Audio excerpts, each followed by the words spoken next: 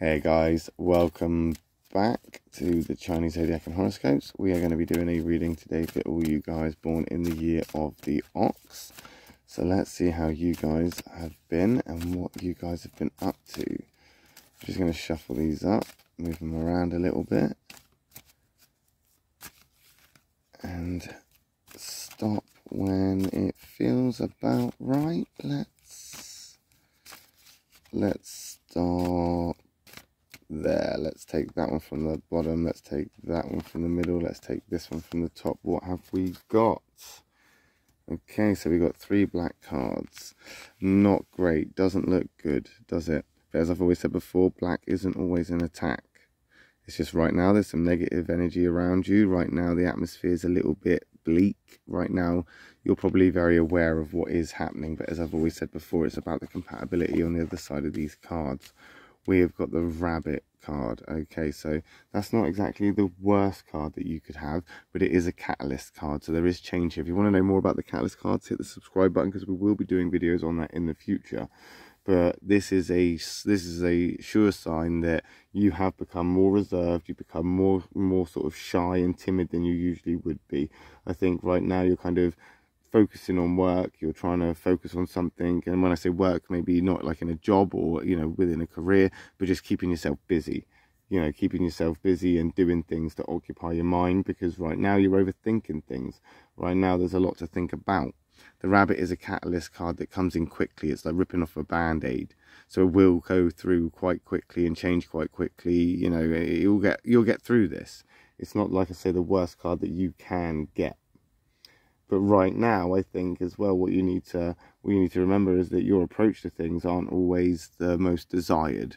You have a very Spartan outlook on life. You're very kind of to the point, very blunt, very kind of this is how we're going to do things. This is how things should be done, um, and you're by the book, and that's how you succeed, and that is how you you know get stuff done, and why you why you are a favorite when it comes to you know having you on a team of people that need to get work done that other people would otherwise say, do you know what, I'm too, I, am too good for this, or um, potentially they're just too lazy for this. You aren't.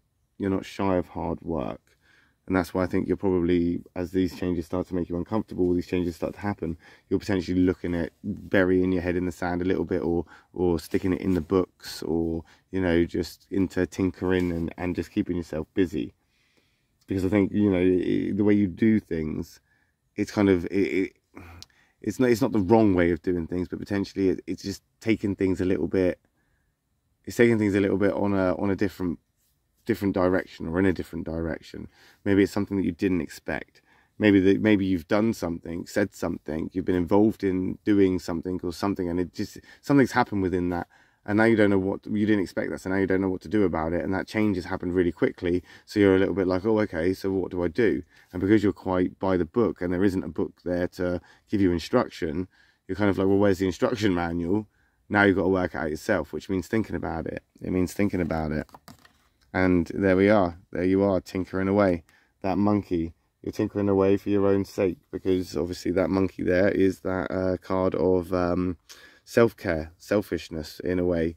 Um, and when I say selfishness, it's not a bad thing. You're looking after yourself, you know, putting yourself first. And, and, and it's okay to be selfish sometimes. You are looking out for you. Self-care is important. So you are looking out for yourself, and that's why you're doing what you do. The monkey card is also that doer card. So you're tinkering.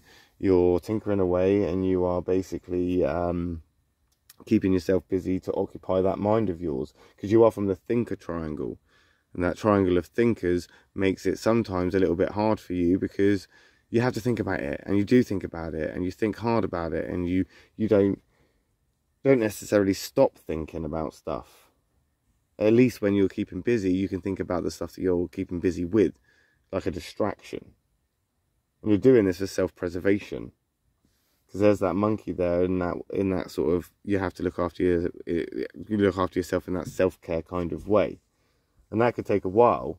You know, the change may have came in really quickly, but you know, you may have had to, you may have found that you've had to slow yourself right down in order to actually, uh, in order to actually start feeling better. Because if things happen too quickly and you don't know where you stand, rushing around and being impulsive and and you know making things worse like a bull in a china shop is definitely not the way to go forward so now you have to think about your next step you need to think about what's going to happen next and that's okay you can take your time because you're a good thinker you're good at it and you should you should think about it and and thinking about it means that you can you can do it right the first time and you don't have to worry about coming back here and and correcting mistakes so take your time to think about it take your time to to figure this out I think right now there's a bit of distrust in yourself. You don't trust yourself enough right now. So you, that's where you need to kind of figure out your own confidence, your own self-esteem you need to work on that and, and bring yourself back up and prove to yourself that you can do it. And okay, yeah, it may take a while and it may kind of, you know, be be a, a waiting game, but from planting the planting the seed to picking the fruit, there is a time scale. There is a time scale to everything.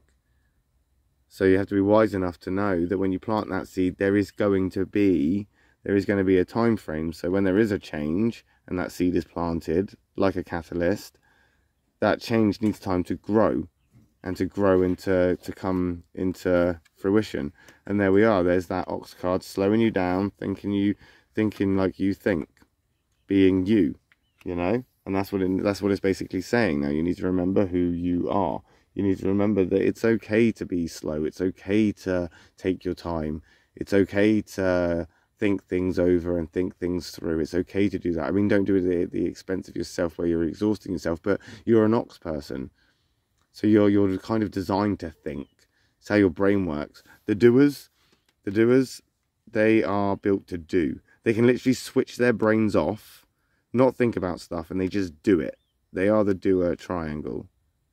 The catalyst cards, they're the creative ones. They're just naturally creative.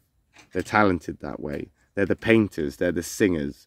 You put a brush in their hand, they will paint. You put a guitar in their hand, they will play. And that's that's just you know one of their common traits. But the ox the ox they are a thinker. You think things through.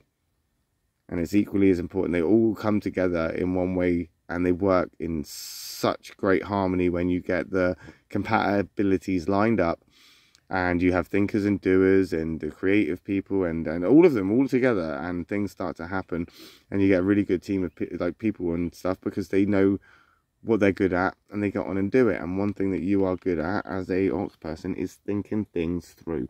So you need to commit yourself to working this out. Don't just get yourself into like a, a sort of pity party or you know dwell on it and stuff. Don't start to become stagnant. Don't start to get stuck what you need to do is be a little bit more forceful with yourself and say, right, I can do that. And you'll be good at this because you can give yourself that discipline. You can say, right, what I need to do is this. I'm going to get this done. And that's how I'm going to proceed with this. And once you start making a plan of action and you start to trudge forward, you will start to overcome these hurdles. You will start to push through this. And I think you're very much aware of that because that's why you're going to become into this position here where these two cards, despite the catalyst here, so we've got this catalyst and that catalyst card is basically bringing in this change really really quickly like whoosh there it is.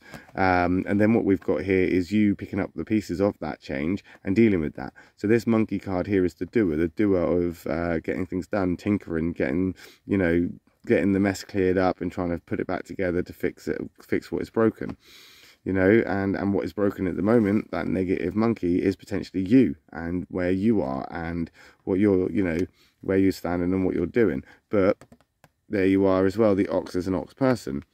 So you're getting through this the only way you know how which is as an ox which is the best course of action and we'll find out how you get on with that next week when, when we come back and do another reading for you guys. We'll be back tomorrow for the um, who is it tomorrow? The tigers and the rabbits. So if i don't see you then i'll see you next week when we come back and do another one for you guys. Thanks for watching. Love and peace